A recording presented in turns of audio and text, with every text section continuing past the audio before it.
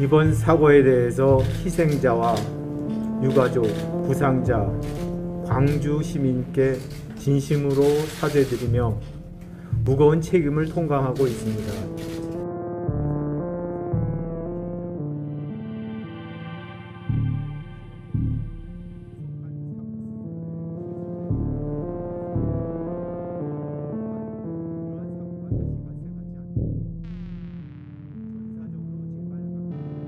현대산개발 대표이사입니다. 철거공사 제하도에 관해서는 한솔 기업과 계약 외에는 저희는 제하도를 준 적이 없습니다. 법에 위배가 되기도 하고 제하도의 건 없는 것으로 알고 있고요.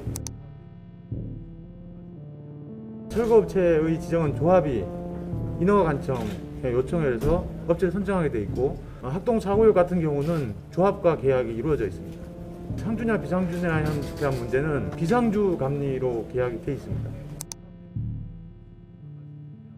위에서부터 차례차례 층별로 철거를 해내려게 돼 있고 밑에서 한쪽에 그 층을 쌓아서 그 상태에서 앞으로 계속 철거를 야금야금 먹어가는 공법 우계로 알고 있습니다. 이번에 공법으로 했기 때문에 절차적으로는 신고도 그렇게 돼 있고 그렇게 한 걸로 알고 있습니다.